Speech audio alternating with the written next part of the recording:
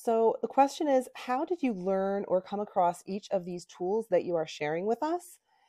Also, each book that you reference is super helpful. Did you also read books that were not helpful? I love these questions.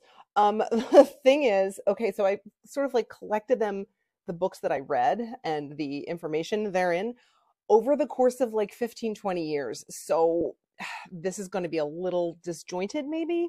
The one off the top of my head first comes Love, Finding Love and Your Family in the Holy Trinity by Dr. Scott Hahn. That one, my Catholic therapist recommended to me. That's the book that goes into how basically the idea that I share in Filled with Good that we humans were made for paradise and we live in a fallen world instead. So, in some way, we are all traumatized, and addiction for us, food addiction, is an effect of that trauma. Now, as for theology of the body books, obviously there's everything by Christopher West.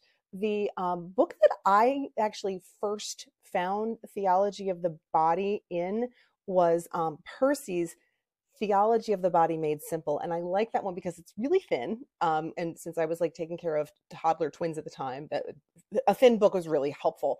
But also because it just sort of like it, it really is it made simple. It's just straightforward. This is what this means this is what this means this is what this means and this is how it looks in human relationships.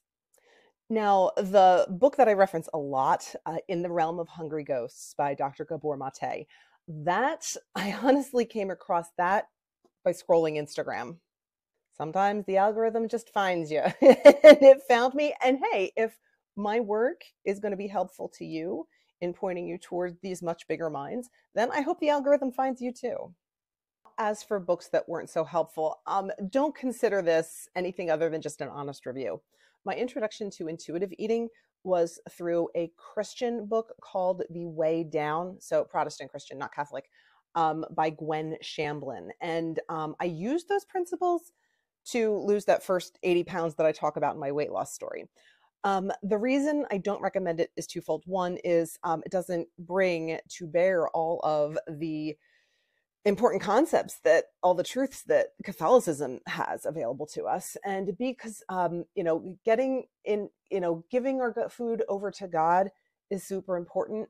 But saying that we need to do it so that other people find us prettier, that I'm not a fan of. So I, I don't really recommend that book, but that's just my honest review.